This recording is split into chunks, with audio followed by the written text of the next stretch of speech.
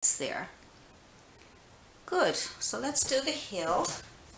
So let's get um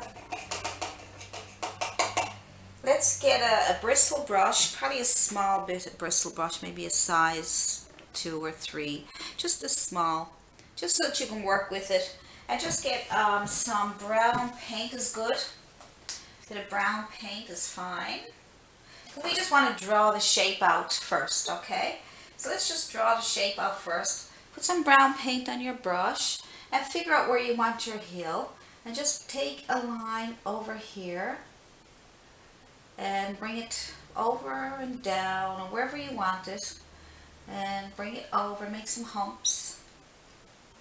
Maybe come down a little bit, okay?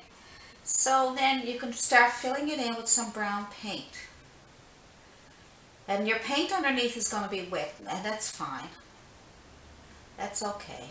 We just want to get a shape there, and we can always fill it in with darks and lights after.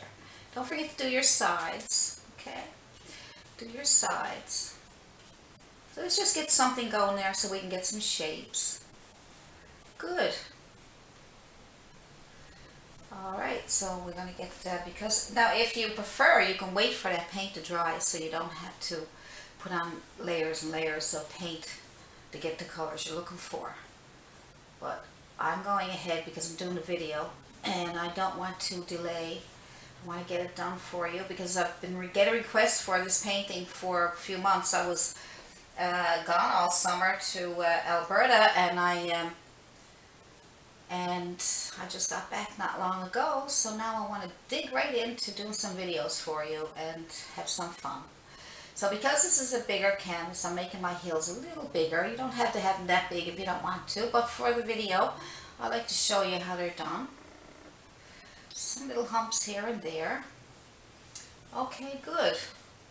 So what we'll do is, when we come back, we're going to add some darks to this, these hills. So you work on those hills, and you work on the sky, and when we come back, we will finish up the hills and we will probably put a few little clouds in the sky and then we'll continue on with the with the water and then the beach. So we'll do it in steps and have some fun.